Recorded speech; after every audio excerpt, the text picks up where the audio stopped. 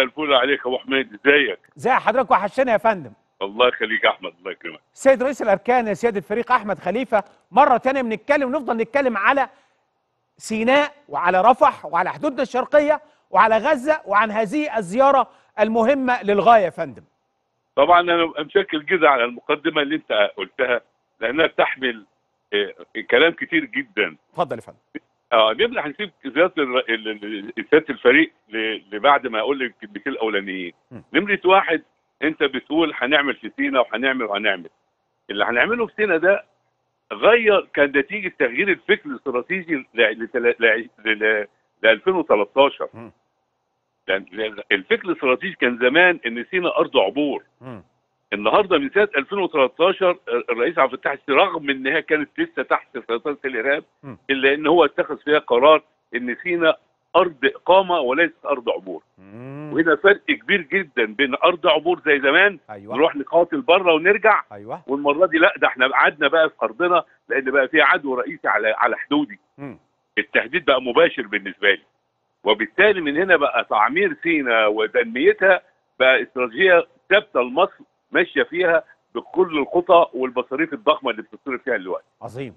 بس دي مقدمة في الحتة بالنسبة لسينا. فتاني سيناء آه. تتحول من أرض عبور إلى أرض للإقامة. أرض إقامة. آه. طيب النقطة هنا بنتكلم على كل مؤسسات الدولة بتكلم على القوات المسلحة وكل مؤسسات الدولة. لا ده دولة ده الدو... الدو... أيوه. ده تخطيط استراتيجي. أيوه. غير ل- ل- لتوجه مصر ناحية سينا نعم. إيه هو؟ كان ارض عبور لا إحنا هنبقى أرض إقامة دلوقتي عظيم اتفضل يا فندم النقطة الثانية النهارده الوضع على الحدود شكله إيه؟ مم. وضع ملتهب مضطرب. في على الناحية الثانية رئيس دولة غير مسؤول بيتكلم كتير مالو... آه، رئيس دولة غير مسؤول بيتكلم كلام كتير ملوش لازمة كل نتنياهو آه نعم. داخل في داخل في مواضيعات ملهاش بيمد اجالها بأي طريقة من الطرق. وبالتالي بيتذرع بذرائع كثيرة تعمل يعني بتعمل قلاقل لكن مش مع مصر الدولة الحضاريه المحترمة. لأن مصر حذرته من أكتر من حاجة وبيشوف عواقبها دلوقتي آه نمرة واحد نمرة اثنين أيوه أنا ما بحبش كلمة ممر فيلادلفيا ده مم. لأن هو المصطلح الطبيعي إن اسمه طريق الدوريات آه ان الممر عندنا في القوات المسلحه في أي جيش. معروف إن ال- ال- الممر ده بيبقى أكتر من طريق يعني هو اتجاه أكتر من طريق. نعم. لكن ده طريق الثالث ستة طب اسمه إيه يا فندم. قول لنا الاسم اللي حضرتك حابه. ها؟ اسمه إيه يا فندم؟ قول لنا. اسمه ط- اسمه طريق الدوريات. طريق الدوريات. ومعمول عشان العربيات بتاع الدوريات كانت تصير بتمشي عليها بدل ما تمشي في الأرض الغرز تمشي على الاسفلت راح جاية. أيوه. وبعدين الطريق ده إسرائيل حاولت لما جت توسعه عشان تدينا تدينا التأمين بتاعه بعد كده في في في, في الاتفاق بتاع 2007 م. شالت جزء من من بيوت رفح الفلسطينية لمسافة 100 متر.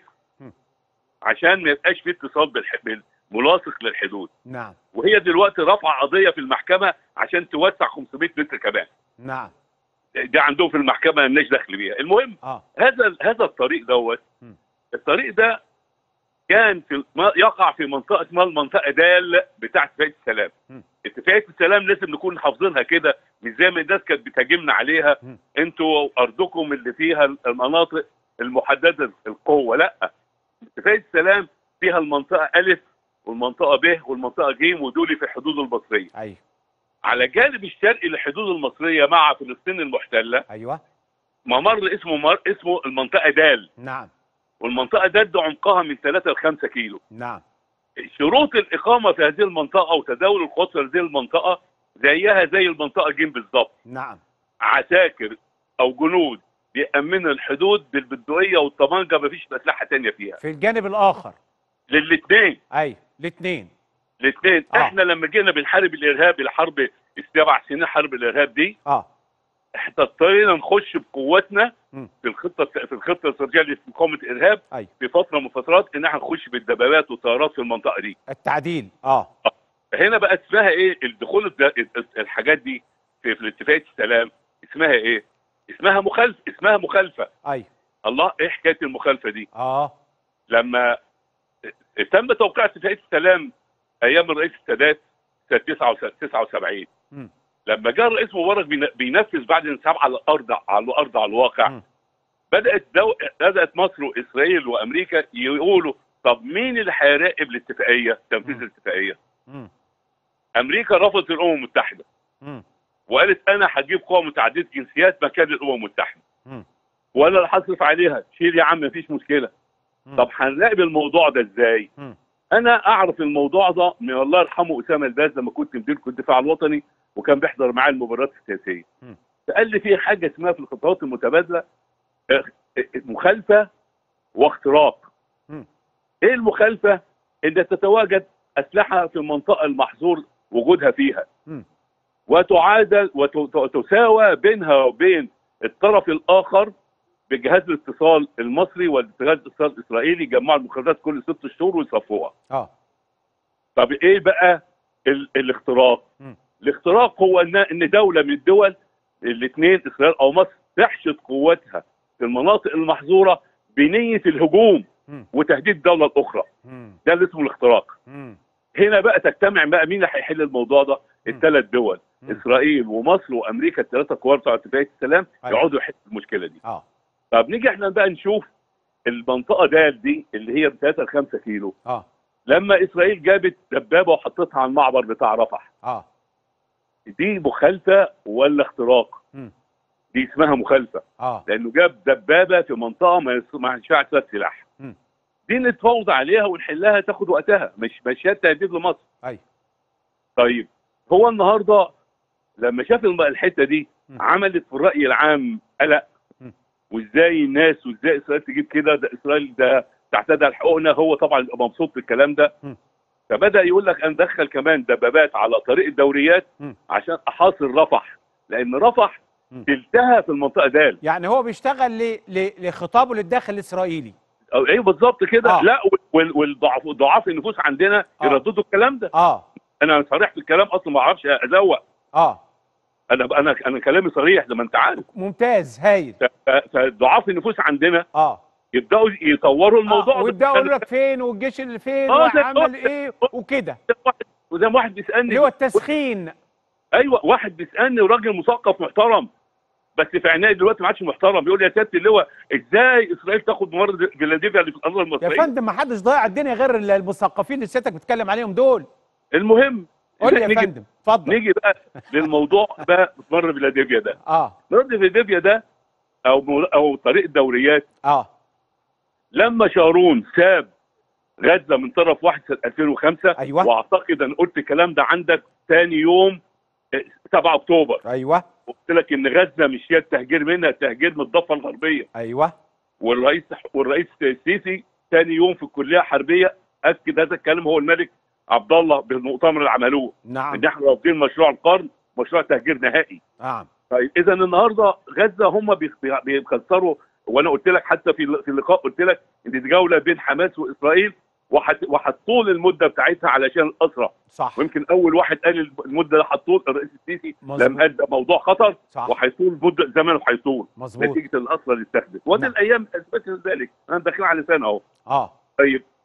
بقى بقت لما لما لما آه، آه، ساب ساب غزه من طرف واحد. طيب أنت بقى شارون مين؟ في 2005 آه مين بقى اللي هيأمن الحدود؟ آه هيسيبها للسلطة الف- هي كانت ساعتها تبع السلطة الفلسطينية آه هيسيبها للسلطة الفلسطينية تأمن الحدود مع مصر. وهو غير آمن للموضوع ده يقول لك يمكن بيهربوا سلاح ضد في الحتة دي ده واحد نمره اثنين والأهم بقى مش ديت السلاح. إن هو بيعطي شرعية للسلطة الفلسطينية تبقى دولة. إنها هتامن حدود مع أيوة. مصر مع دولة أخرى آه قال لك لا ما حدش بقى يامن الحدود دي غير مصر فقط ونعدل اتفاقيه السلام على كده. وال 14 كيلو دول نجيب قوات حرس حدود من مصر هي اللي هي اللي تعرف تقاوم الإرهاب مش الأمن المركزي آه هي هو, هي اللي تقعد على الحدود بقى. هو كان عايز يتخلى عن مسؤولياته كقوة احتلال أيوة وإحنا اللي. نشيل الشيلة آه، لا هو لا هو بيقول لك التأمين يبقى تبع مصر وخلاص. وما حدش يمشي على الطريق ده خالص. وعمل الت- وعم- وعمل توسع الطريق ال 100 متر قلت لك عليهم في الأول أيوه علشان يبقى الأمان موجود أيوه وبالتالي تواجدت قوة من حرس الحدود طبقا للاتفاقية. اللي اتمضت سنة 2007 مم. بعد حماس ما انقلبت على السلطة الفلسطينية. أيوه وقال الاتفاقيه إن أنا أحط حرس الحدود ده وإن وأنتوا تيجوا تقعدوا في 750 أو أو 720 فرد تقريبا يبقى هم المسؤولين عن تأمين الحدود ضد التهريب. مم. ضد الإيه؟ التهريب. أيوه طيب. خلاص بقى دلوقتي موجود. أنت دلوقتي جاي دلوقتي بتقول أنا أحتل ممر فيلادلفيا أو طريق الدوريات ما سيبوش؟ واقعد فيه أيوه. قلنا لا دي مخالفة دائمة لاتفاقية السلام والاتفاق اللي توقع بيننا وبينك على على على التأمين سنة 2007 نعم.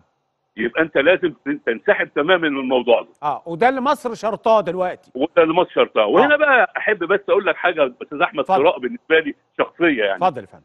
بقول لك أنا مصر دولة حضارية محترمة وبتعرف هي الدولة الوحيدة اللي بتحافظ على الحقوق الفلسطينية. لما مصر لما قالت أنا هقفل معبر رفح مش هفتحه إلا بعد خروج إسرائيل من المعبر. من المعبر الفلسطيني وهتسلمه- لا وقالت تسلمه لمين؟ أيوه. تسلمه للسلطة الفلسطينية. أيوه. يعني معنى كده كنتوا أنتوا بتفكروا مين هيدير غزة بعد بعد وقف إطلاق النار. وهتجيبوا ناس من بره وناس من جوه كل واحد هيدي مقترحات؟ لا ده أنا بقول السلطة الفلسطينية. ما. دمت هتسلمها المعبر يبقى هي اللي هتدير الم... اللي هتدير القطاع. يبقى هنا بحافظ على هوية القطاع الفلسطيني وحافظ على حقوق السلطة الفلسطينيه انها تدير القطاع بدل حماس اللي كانت عملت عليها الارتلال كويس. شوف هنا بقى الكلام ده كلام المستقبلي اللي الرؤية الاستراتيجيه عند القيادة المصرية واضح, واضح وحاطط خطوط إنها لازم هنمشي عليها مش الحفاظ على حقوق الشعب الفلسطيني. بالظبط هنا بقى نيجي السيد رئيس الأركان. نعم. هو الفريق من- أحمد خليفة. نعم. آه من مهمته إن هو يت- يت- يتابع قواته ويفتش عليها لل- للمهام ان الناس مذاكراها وكلام زي كده في أي مكان آه طب إذا كان بقى المنطقة ملتهبة يبقى الزيارة وجبه مم. يبقى على طول الزيارة وجبه مم. فالنهاردة لما قام راح هناك. كان بيعمل إيه؟ بيتفقد القوات الكفاءة الفنية والقتالية بتاعتها أيوه إيه بقى الكفاءة الفنية والقتالية بتاعتها؟ نمرة واحد عنده إن هو بيأمن الحدود نعم يبقى لازم مهمته يراجع مهمة تأمين الحدود بتأمنوها كل واحد فاهم مهمته ولا مش فاهم مهمته والكلام ده كله. الجزء الثاني بيدي رسالة للجانب الآخر أيوه إحنا مستعدين للدفاع عن أرضنا بأي صورة من الصور واتجاه القيادة السياسية بعدم وجود قوات في المنطقة دي إحنا مصرين عليه. آه يبقى هنا ده الرسالة اللي هو عايز يوصلها للناس. آه وبالسلم إحنا بنتكلم بالسلم إحنا ناس محترمين وب- وبنحافظ على تعهداتنا كاملة مم. عمرنا ما مع عمرنا ما خلنا اتفاقية ولا خلنا معاهدة ولكن بنتفق اللي بنتفق عليه بننفذه أيوه. وده اللي إحنا اللي إحنا بننفذه دلوقتي. نعم. وبالتالي يبقى هنا زيارة رئيس الأركان كون إنها بترفع معنويات الناس بتوعه في, في التوتر اللي موجود ويطمن الناس لأن طبعا الناس عمالة تقول يا ترى هنحارب مش هنحارب؟ لا هو لما بيزور الناس بيقول لهم الوضع السياسي الحقيقي شكله إيه آه والتوكيل شكله إيه آه وبيطمئن عليهم وانت شايف حتى في الصور انت جايبها آه ده هو قاعد كمان ناحيه البحر كمان مش ناحيه ال- من, من ناحيه غزه كمان آه يعني في قعداته شوف قاعد إزاي ناحيه البحر يعني هو اخذ الحدود كلها آه بالكامل يعني هو جاي بي- بيطمئن على مسافه الحدود كلها سواء من البر اللي هي 14 كيلو التواجد وفرض السيطره وفرد بالظبط كده فهنا دي اللي ده دي مسؤوليات القاده العظام. أنت قلت ال- ال- ال- ال- ال- الفريق عبد عبد المنعم رياض رياض لما مات في في في. النمرة 6 استشهد بنمره 6 أنا كنت أنا كنت ضابط كنت. متخرج موجود في النمرة 6 مم. وشفت وشفت الموضوع ده بعيني يعني نعم. مش يعني وده كان رافع معنوياتنا جدا لرئيس الاركان معانا. وكان وإحنا كان الوضع كان صعب لا كان في دفاعات ولا كان في بتاع وكنا إحنا بنعمل كل حاجة بإيدينا ما كانش في التطور الرهيب اللي موجود عندنا في الجيش دلوقتي آه والدولة لما أقيمت في عهد أيام سيدنا داوود أقيمت في المنطقة دي. فهم عايزين يقولوا الحق التاريخي بتاعنا. ده المكان فهل هو هيقدر يعمل دولته اليهودية اللي نتنياهو بينادي بيها. من العريش للفرات دون الضفة الغربية؟ لا يبقى لازم هياخد الضفة الغربية. ومن هنا اللي بيعمله في الضفة الغربية هو أخطر من اللي بيعمله في غزة. هو الوقت لما بيعمل التدمير الكامل في غزة ده. معناها إنه بي إن هيخلي سكان غزة يعيشوا في خراب 10 سنين عبال ما دماغهم تترفع ويعرفوا يعيشوا تاني مم. يبقى أمن المقاومة من عندهم نعم يبقى هو هيتفرغ لموضوع الضفة الغربية مم. اللي اتعرض فيها موضوع تبادل أراضي سنة 83 وحسني مبارك رفضه سنة آه، سنة 94 بعد تحرير الكويت وحسني مبارك رفضه ومقابل هم كانوا عايزين يشيلوا بقية الديون 26 مليار. رفضوا. سنة 2004 بعد ما ما ما دمروا العراق وحطوا قواعدهم في المنطقة العربية وخوفوا مبارك. اتنفس هنعمل فيك. قال لهم اعملوا أنتوا عايزينه. ومش هعمل مشروع تبادل تبادل أراضي. فحرموه من زيارة أمريكا من من, من ساعتها قرار. المهم هم يعني الراجل ما وافقش. م. بيقول لك سنه 2011 وزرعوا لك الإرهاب في المنطقة دي عشان يعملوا الإمارة الإسلامية المتشددة اللي يقدروا يتفقوا معاها. وأنت حاربت الإرهاب وقضيت على الموضوع ده. فبقى موضوع تبادل اراضي أو اختلاف جزء من من مصر مصر رفضت تماما هذا الأمر. تماما. لا مش رفض بالبق رفض بالقوة كمان. آه. لأن أنت حاربت الإرهاب بالقوة. أيوة. هم كانوا عايزينها. فكانت النتيجة دلوقتي راح جالك ترامب وراح مقدم لك مشروع القرن. مم. مشروع القرن ال 3 مليون ونص اللي في الضفة الغربية اتفرغوا في مصر وفي الأردن. وفي خريطة تانية اللي تتاخد من السعودية يوسع للأردن 300 كيلو جنوبا قصاد الحتة اللي هتتاخد منها.